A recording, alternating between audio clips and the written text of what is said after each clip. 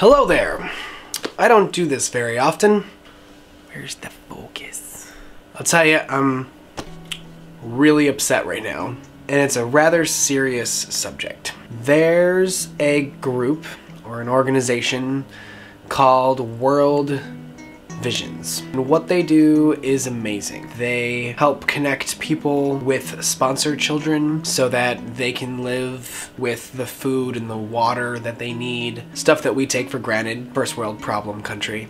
This company is based on Christian views, supposedly. I honestly don't know too much about them but I've come to learn more about them in the last couple of days. World Visions took a giant leap. It shows tolerance and acceptance and love. This company, built on Christian foundation, decided that it's time to allow people that have same-sex marriages to be employed by them, which is great. Gay people can work too, right?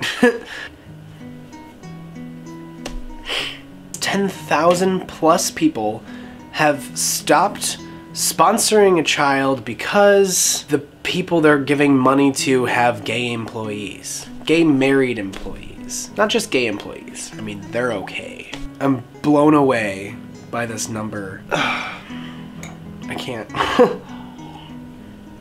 I'm, I'm sad that there's 10,000 children that are no longer being sponsored. I'm sad about that. But I'm more sad that I'm sharing a country with 10,000 people that think it's okay to suddenly just drop their children. This organization, when you sponsor a child, you don't just give money. I mean, you can, I guess, but you don't just give money, you create a relationship with this child. You're always helping the same one or ones, you're helping a person. What happens when the Christian has a child and that child comes out to them? Are they gonna suddenly throw them to the curb and stop feeding them? Suddenly, the organization that connected you to that person is doing something differently that goes against your whatever. I mean, it's not like you're spending money to help gay marriage because you're not doing that. And here I am sitting in front of a camera, not knowing what to do because I want to do something, but I don't know what to do because, I mean, I can sponsor a child, but that doesn't help the 10,000 people that don't get it that love is the answer and that stopping supporting a child, giving them the things they need to survive is gonna prove some kind of point. Uh, it, it proves a point, that's for sure. It proves that Christians are blind as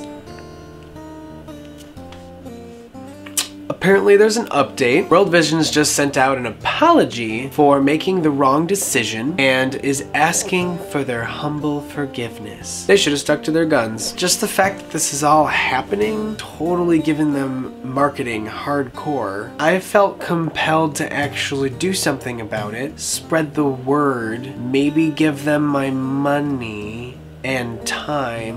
Whoop, just kidding! They should be looking at this as an investment. Financial loss initially, much like most investments, but if they held on to it, people would have risen up that actually understand the reality of the situation. I understand that someone might not be okay with the whole gay thing, because I get that. It's weird or it's against the rules or whatever you want to call it.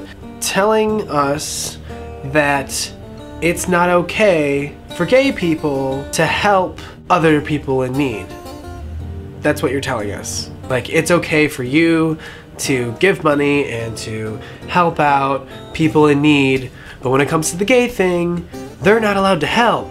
So they can't be a part of our organization because they're an exception to life and humanity. But aren't we all trying to, to work together on this? Why would you stop same-sex married couples or people or whatever from helping you do the same freaking thing? So, in conclusion, those of you that are of that 10,000 plus people, you don't get the big picture and we don't get you. So do better. Listen to your heart when he's calling for you.